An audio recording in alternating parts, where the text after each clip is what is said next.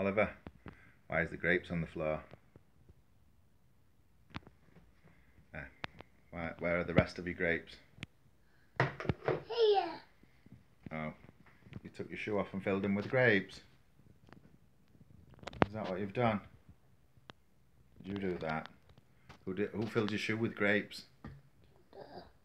Who did it? The There's some more on the floor, yeah. Who did that? Who did that? that Oliver. mama or that Yeah, who did that? me You. Are you sorry? me Are you sorry? Are you sorry for doing that? Uh, are you sorry for it? Robin Say sorry. sorry Say his soz dad. oh yeah Yeah, yeah, but da, da. You anything more to say about the grapes in the shoe? no No. nah nah Alright. You gonna eat them? No. Not they've been in shoe, eh?